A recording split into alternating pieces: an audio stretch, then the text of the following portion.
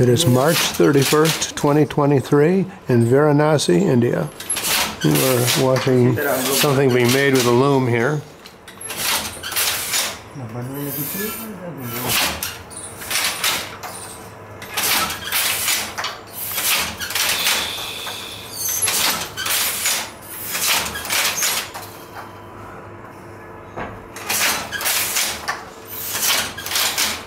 Quite a unique loom. I haven't seen one just like this before. Design यही चलता है यही design यही डिजाइन करता है तो जितना रोलिंग करेगा उतने ही धागा उठेगा उतने ही डिजाइन के लिए okay okay understand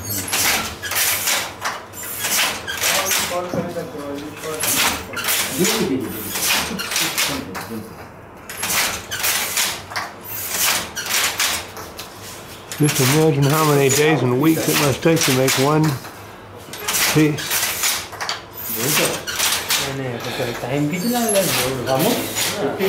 and I got another one over here, which at this moment is not being actually used, but uh, just focus in on the fabric here.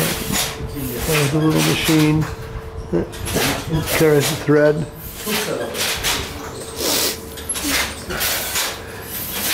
And uh, this is their sort of museum gift shop, I guess, where you can buy various um, fabric. Beautiful place.